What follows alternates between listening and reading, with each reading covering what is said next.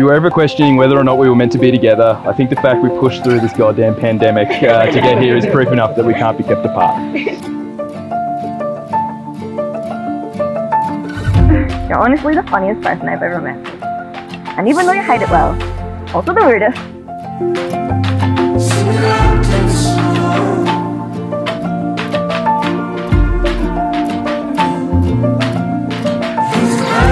Love our animal adventures, whether it's taking our own fat boy for a walk, or when you wake me up in the middle of the night because a cat followed you home, or because we need to save a green tree frog.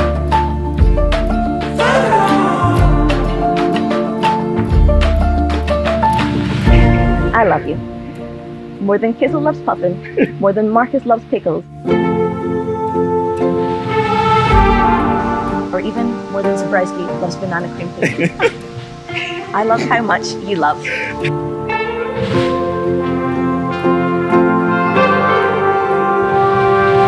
So finally, a question for you, Robyn. Do you have the guts? I've been wondering if your heart's still open, and if so, I want to know what time it shuts.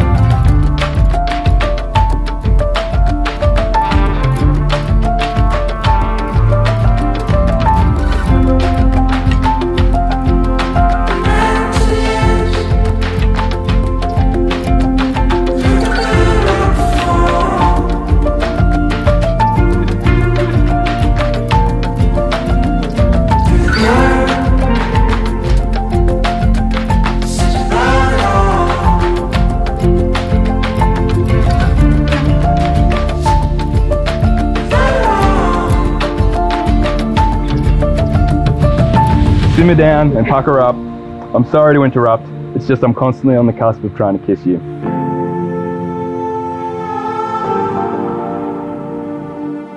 Aside from braving the plot of Steven Soderbergh's cult classic Contagion to get here, the things I love most about us are not any grandiose displays of affection, public statements of Batum.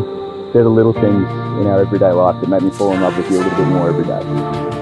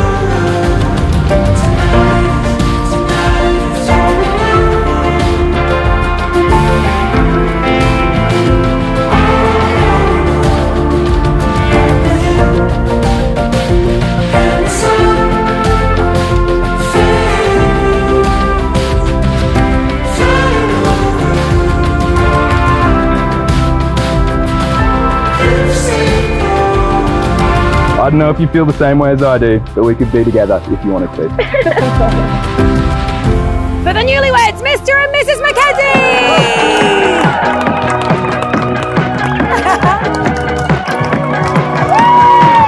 Clocked out, 10 till 2. Beat the traffic on the way down. Warm up the crowd with some devastatingly charming compliments. But it's not hard to understand why he was so fascinated. I mean, look at Robyn. Ladies, you're looking beautiful. She's ravishing today, isn't she? Picking my back just to get off the ground. Think I'm running out of chances. Beating up time just to slow it down. I need to get away. So the next speaker, I understand, is Robyn's partner in crime, and I don't mean Batman. oh, sorry, sorry.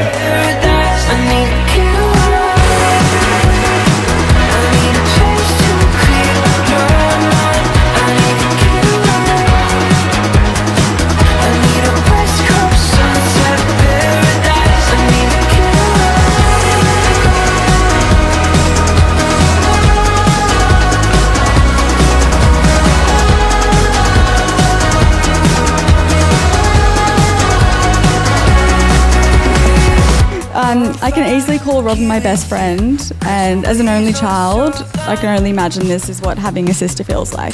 However, in 2015, a boy named Andrew entered the picture. Everyone knows I'm a sucker for a pretty dress, and I've seen some real beauties today. I'm so happy they found each other, and their love is palpable, and they're a pleasure to be around. Andrew, yours is very pretty also.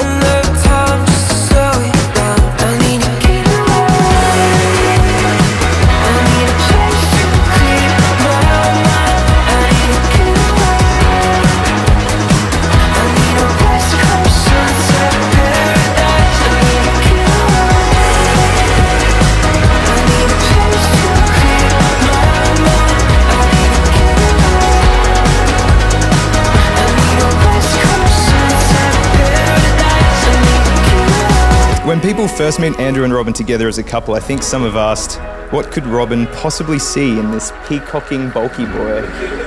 You're welcome. Uh, she's my problem now. You, you really have raised an absolute sweetheart of a daughter.